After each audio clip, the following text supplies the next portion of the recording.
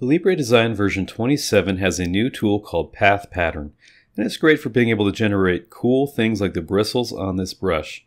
So let's talk about how to use Path Pattern.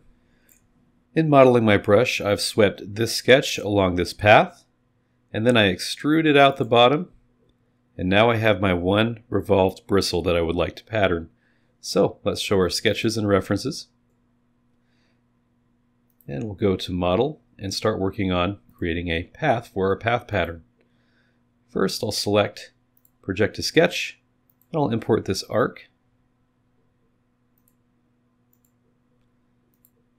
And now I can select Path Pattern, and I'll select my Revolve as the feature to pattern, and I'll select the Path object as the sketch that I've just made. Maybe I'll adjust my number here to be something like 8. Then you'll notice I have a, a uh, sketch down here that is far removed from my feature.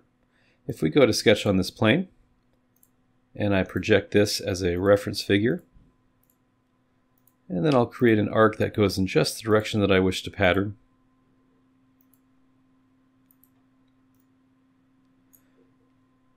I can select Path Pattern, and I select the sketch that I've just made, and I still am able to pattern even though the sketch does not intersect my feature. I can also include previous path patterns.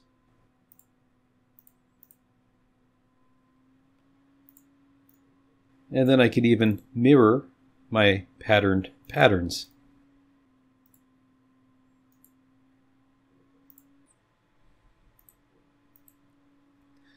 So we hope that you find this to be a cool and useful feature as you model with Alibre, and thank you so much for watching.